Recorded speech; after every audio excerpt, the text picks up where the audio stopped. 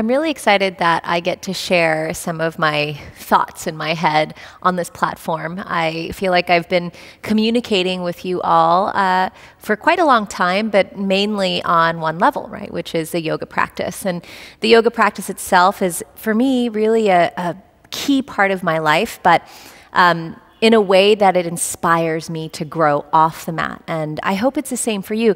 And if it's not, and you're at a place where yoga is just for the physical side of it, I promise you it will seep in to many different parts of your life on your own. You'll notice that you're eating better because it feels better. No, you'll notice that you're thinking differently about things because it does tend to bring out the, the positive thought process a lot more than other types of movement modalities. Now, what I wanted to talk about in this practice, it comes up in this practice, I'm so used to saying that, in this talk, uh, which comes up for me a lot, is life in transition. And what I mean by that is, I feel like the only constant thing in life is change. And I find myself, although I, I feel like I'm grown, I've grown a lot more in the last 10 years than I ever have, I still find myself dipping into old patterns. And one of them is building on expectations of things staying the same and then getting disappointed when those things don't stay the same. And that's a vicious cycle. I'm sure if you're listening, you've probably done that and you do that often like I do. You know, nobody really likes things to change, especially if they make you happy. So, one of the ways that I've dealt with life in transition is to look at it from the lens or the perspective of the yoga practice, which at first was kind of shocking because I always thought, well, transitions in yoga are mirroring my transitions in life. But when I teach transitions in a practice, I always say before you do a transition, you'll want to know point A and point B, where you're coming from and where you're going.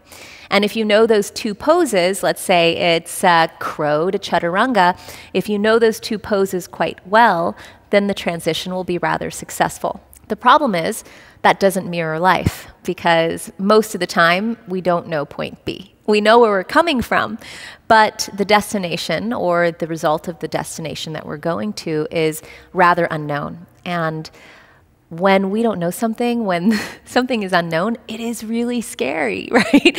I don't know many people who are like, ooh, I'm so excited to do something that I have no idea what the outcome is going to be, especially when it involves life and our comfort.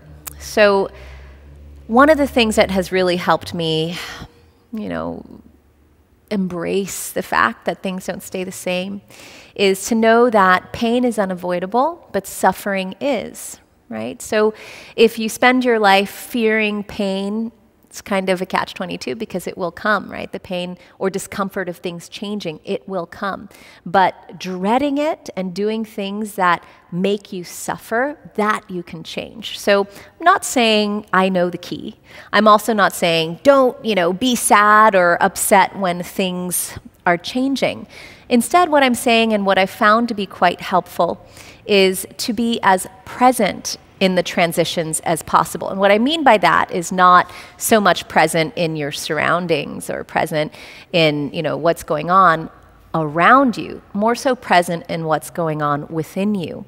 Because we can't really stop thoughts from arising. We can, however, shift what the next thought is going to be, how we react to those thoughts. And that's the beauty about transitions. If everything stayed the same, we would never grow. We would just be in our little bubbles, super comfortable all the time, and I know that sounds really great. but most of the time, in my personal experience, growth has come from discomfort. So if you're present within your transitions in life, right, you're able to see how you react to certain things. You're able to observe and acknowledge what your habitual patterns are. And once you have that awareness, you rarely go backwards. You know, you make a conscious choice to either continue doing that thing that hurts you over and over again, or you decide to choose how you want to react next. And it's not always the right choice or reaction that you shift to, but at least you're trying something different because the definition of insanity is, you know, doing the same thing over and over again, but expecting a different result.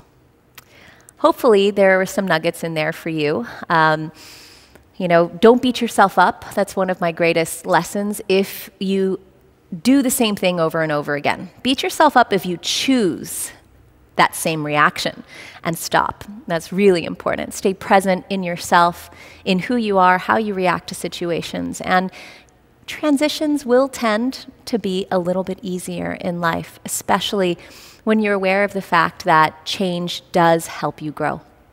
Hopefully, there were some things there for you. Thanks so much for listening.